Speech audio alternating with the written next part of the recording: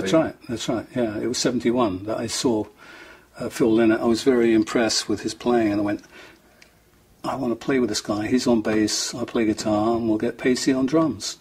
Pacey was up for it, and then I think Pacey started thinking, "We've got a really big band with Deep Purple. You know, we're doing so well. Why throw it away? You know."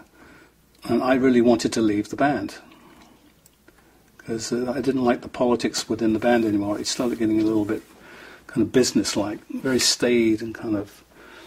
It wasn't going anywhere. Very contrived. And uh, Phil had all this energy, and uh, I thought this could be very interesting. So we did a couple of tracks with him in the studio, but we didn't never finish them. And uh, Phil was up for it. Very nice guy. It's great.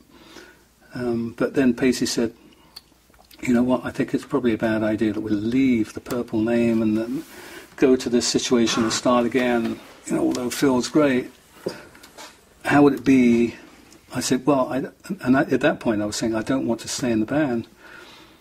And he said, well, why not? I said, well, mainly because of, you know, you've got Ian, who I can't get along with, and Roger uh, doesn't do anything for me, you know. And he said, well, what about if we uh, got rid of them, got new, new bass player and new singer? I said, oh, I don't want to do that. I don't want to do that to Roger.